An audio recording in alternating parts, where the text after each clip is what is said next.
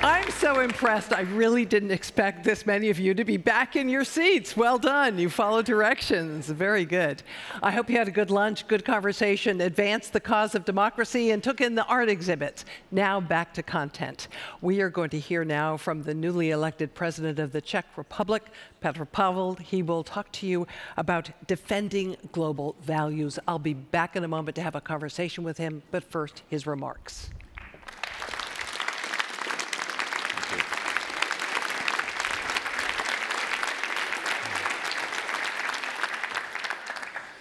Good afternoon, ladies and gentlemen. Uh, it's an honor uh, to be invited uh, to Copenhagen Democracy Summit and have a chance to talk to all of you here. Uh, in fact, uh, I have to say that uh, wherever I am invited to have a kind of a keynote speech, I uh, am a little bit hesitant because it uh, in, um, looks like uh, as if I have something of a key importance to say. I would rather uh, share uh, with you uh, a couple of my uh, comments on the situation and developments uh, uh, on the atmosphere in which we live in, in recent years and today.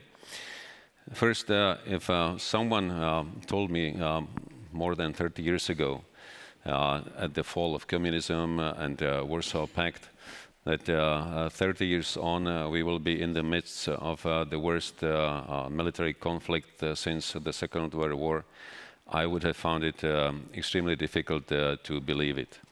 But uh, here we are, uh, and uh, there is a great risk of a conflict involving not just two neighboring countries, but uh, one uh, uh, nuclear uh, power uh, uh, with another big country with the risk of extension to a number of other countries. So it is quite um, a serious situation which we cannot ignore. And it's not uh, just a conflict uh, for uh, a territory or any minor dispute. it is a conflict Uh, that is significant uh, for uh, uh, our own future, and not just in Europe, but also uh, globally. because this conflict or its result will define uh, the world uh, security uh, architecture and the nature of international relations in general these uh, 30 years ago uh, uh in uh, Czechoslovakia, we, uh, we were uh, so uh, keen uh, to get back to Europe, as we called it, look for security guarantees provided by NATO and a good future provided by membership in the EU. And we were all very excited and in a very bright future. It was uh, similar uh, for uh, Russia. Even Russia started uh, modernizing in their own way. They started uh, getting closer uh, to the West, creating links even with NATO. there were even discussions about possible Russian membership in, in, NATO, and everything looked pretty promising. Uh, but uh, uh, at the turn of the millennium, uh, uh, Russia uh, turned back to what we saw and knew in times of Soviet Union. That means uh, in their uh, pursuit uh, for the greatness, quite revanchist positions and ideas. when Vladimir Putin replaced President Yeltsin, Uh, he replaced uh, hope, uh, uh, hopes for uh, democratic Russia by great and powerful Russia. Uh, so he uh, gave uh, Russians, after the years of perceived humiliation, and again the hope for a respectful, big country that will be feared by all others, and that will be again consulted in all global issues. And uh, uh, we saw it first uh, uh in a very open way in 2007 uh, uh, when President Putin attended Munich Security Conference. Uh, where he clearly uh, expressed his uh, view of Russia in the international arena, in um, the interest to get back to the positions of the Soviet Union. And then, uh, then uh, um, we saw the, situation developing uh, uh with regard uh, to um, uh, Ukraine and many other uh, post-Soviet countries, resulting in the annexation of Crimea. That should have been a good reason for all of us to wake up and to realize that cooperation and partnership with Russia will probably not be so smooth as we expected. Uh, but uh, uh, it seemed that uh, the low-cost uh, raw materials uh, were to us closer than caution. Central and Eastern Europe had their own experience with Russia, so we were probably more cautious than the others. But generally, the perception was that we can still make a good deal with Russia, that we can cooperate and find uh, uh, find a common way ahead. Uh, it all ended up uh, in February last year uh, when Russia started an aggression against sovereign U Ukraine. And we see now Russia behaving almost like Nazi Germany eight years ago, focusing on civilian targets, committing a, a, lot of atrocities in Ukraine, uh, Uh, killing civilians uh, and uh, committing uh, war crimes. Uh, for these, Russia should be should be trialed, and that's why we call for an establishment of international tribunal special for war crimes in in Ukraine because these crimes must not stay unpunished. Uh, beyond um, Russia, which is uh, uh, our common challenge, and we agreed on that at the NATO summit in Madrid, uh, we see also a number of other uh, challenges, and uh, one of them, in my view, much more important than, than Russia, much, much more dangerous in the long term, is China. Uh, up to now, uh, um, we were uh, brought to an understanding um, by China itself, but also by many our politicians, that China only seeks um, economic cooperation, investments, and a good life for all of us. Uh, it's uh, fair to say uh, that China has fundamentally different strategic interests from ours. Chinese uh, uh, society is based on uh, uh, uh fundamentally different values uh, than ours. And China, China in that respect, is not seeking equal cooperation with equal partners, but it, it's seeking a global dominance.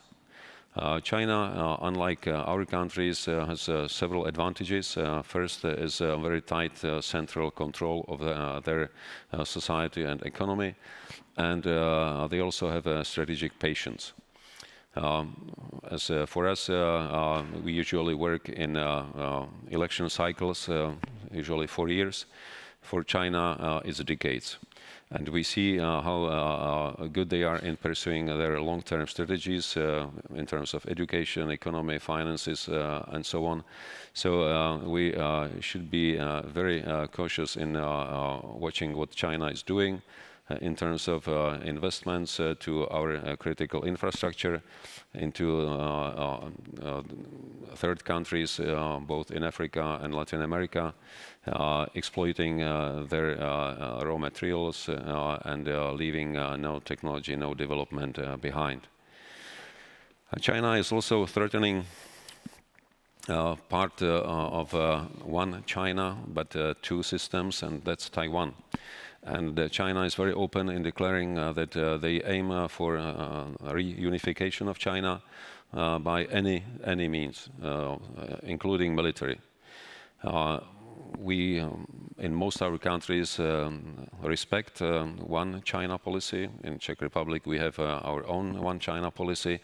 Uh, but as it is um, interpreted by China, it is one China, one system. But we still understand it that there are two systems that should be preserved. Uh, Czech Republic has a great uh, cooperation with Taiwan in a number of areas, uh, and we want to to keep it as it is. Uh, we want to share the same values and the same level, uh, same level of cooperation. Uh, different uh, scenario uh, uh which uh, would involve uh, military action against China would threaten not all of the principles on which our societies are built on, but also internationally recognized rules-based order, uh, and uh, China imposing uh, their own perception of international order on, on us. We would also see the disruption to the world trade because uh, uh, not just uh, that uh, Taiwan is a producer of a great uh, amount of critical commodities, but also a number of trade and commercial lanes run through South China Sea and around Taiwan. So all these aspects should be a warning sign to all of us when it comes to China. Uh, I would uh, try to end up uh, by saying that the only way how the democratic world can can face authoritarian regimes like Russia and China, who are now pretending to be strategic partners, is to stay united, not just within the EU, not just between uh, the allies in Europe and North America, but also uh, uh, extending our cooperation with all democratic countries around the world, uh, Uh, in the Indo-Pacific, uh, um, also with India, but also extending our cooperation uh, with African and Latin American countries, being still well based in values, but being also pragmatic in offering cooperation wherever possible, because uh, uh, if uh, we leave any space open, it will be quickly filled by Russia or China. Uh, uh, to, and they will then shape uh, uh these countries uh, to uh, their liking. So if we want to preserve the world where the rules matter, not the bigger stick, then we should really stay together, work together, and be more pragmatic, more flexible in cooperation with all the willing countries. Thank you.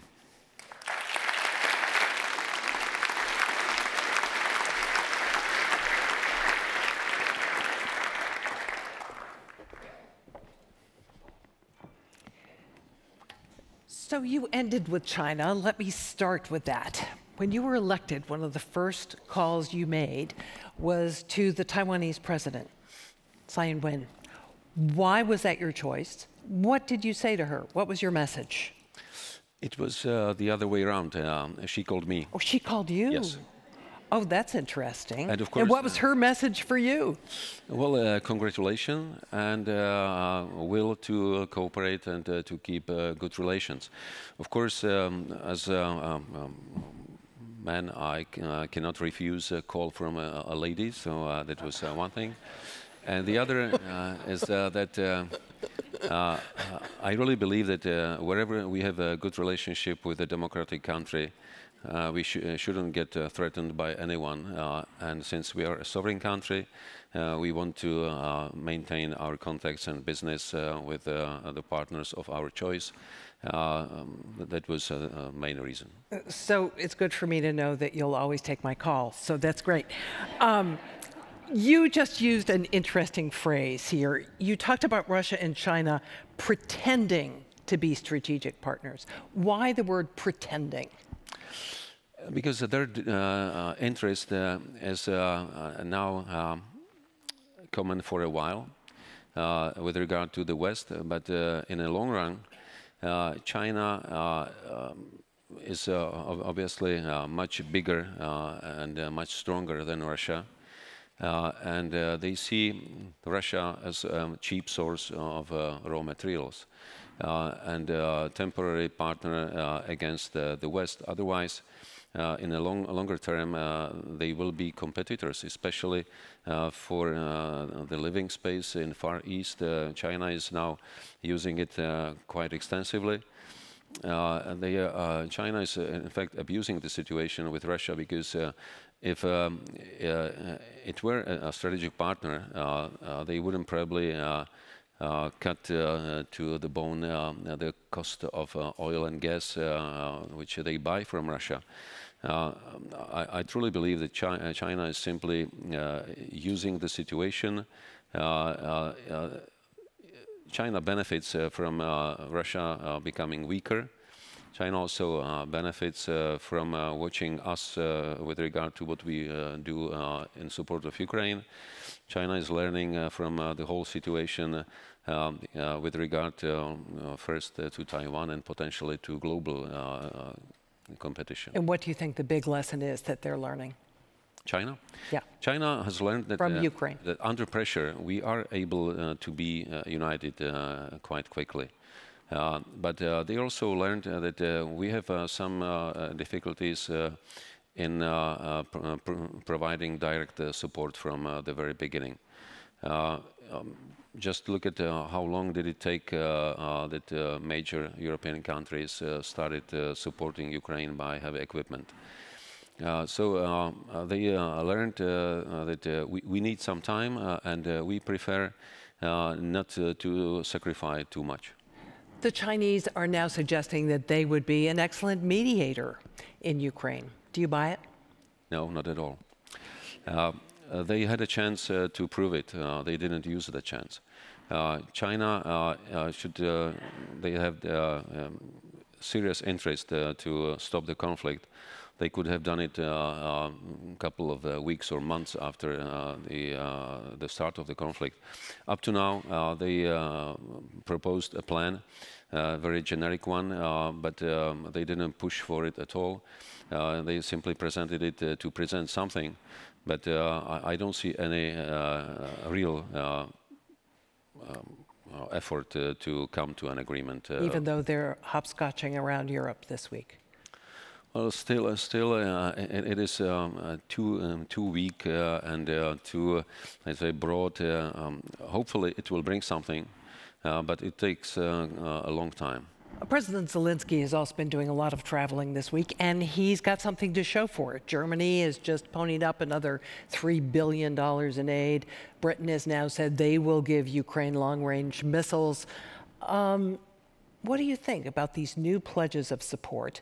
And is it enough for the time being or not? Well, uh, President Zelensky and Ukraine will probably be grateful for any contribution.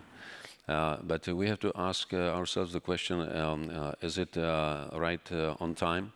Uh, Ukraine uh, has a chance uh, to launch a significant counteroffensive uh, this summer, and the window is shrinking now. So uh, uh, the later the contribution come, the less useful they will be because in the fall it will be again stopped to large military operations because of weather conditions and ground condition. So. Um, uh, to, to use uh, properly the time window that is available, uh, we should have provided Ukraine with all necessary equipment and ammunition in the springtime latest. But Europe isn't producing that ammunition that they need. Talk to me, if you would, about your solution to this production problem when it comes to armaments. Well, it's not so difficult. Uh, there are still production lines, uh, especially in uh, the countries of Central and Eastern Europe, uh, uh, Uh, uh, who have uh, the capacity uh, to produce more they probably don't have enough uh, uh, uh, workforce for it, but uh, when I visited Ukraine uh, two weeks ago, uh, I spoke to President Zelensky, who was willing to provide that missing workforce to the companies. Then um, there is a lack of funding. Again, a number of European countries have the funding, but not the capacity. It's about better coordination to bring all the possibilities and capacities together and produce it very flexibly, very quickly.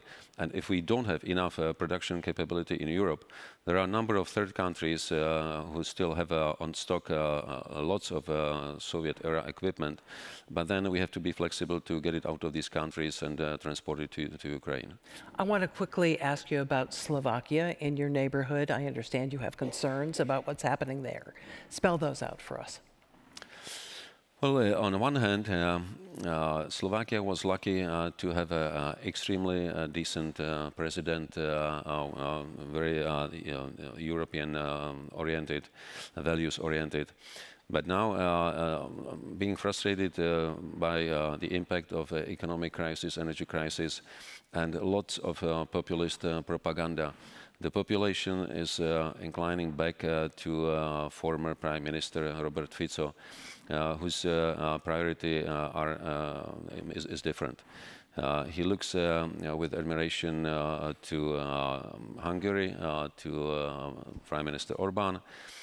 he speaks about restoring relations with Russia and um, um, um, against um, EU and US, um, NATO.